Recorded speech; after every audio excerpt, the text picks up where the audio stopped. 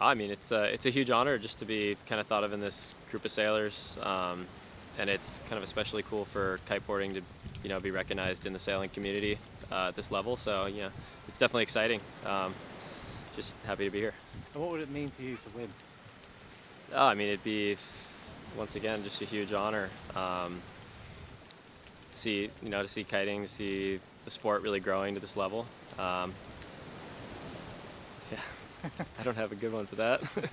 And with the uh, ISAF Sailors of the Year Awards, every year there's always such a contrast in the nominees. I mean, you've got Paul Larsen, who's the fastest man on the water, and then you've got Matt Belcher, who's gone 17 regattas uh, unbeaten, and then you've got the uh, Francois Gabart and Massey from the Vendée Globe. It's always such a contrast. What's it like to be alongside those guys? Oh, it's awesome. I mean, I I kind of love reading through and seeing the other guys' resumes and just really, I, it makes me feel good that, you know, ISAF's recognizing all these different parts of the sport. Um, you know, from guys that are just pushing the speed barrier to people sailing around the world.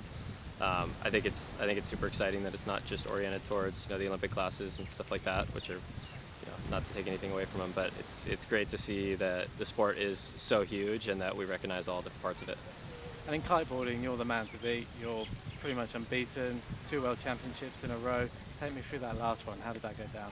Uh, the last one was pretty intense. It was in Italy. Um, bunch of competitors, really big fleet, and uh, it was it was intense because they had a, a, format that narrowed it down to like a winner take all finals, which made it really kind of stressful as a as a competitor going in with a pretty solid lead and then having to win the last day as well. Um, but yeah, pulled it off, and, and it was super cool to do it uh, with Erika winning the women's as well. So yeah, that was a pretty special thing.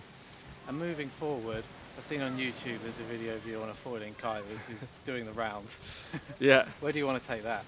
Oh yeah, I'm just having a lot of fun with that. You know, I've, I've been riding the course board now for like four years, and and uh, you know love doing that. But I feel like I'm I don't go out and learn as much every time I go sailing anymore. And, and having a new toy to play around on, a new a new type of board, learning how to maneuver and get around the course is really fun. And I think that that's going to start to grow as well, and we'll see more of that kite playing.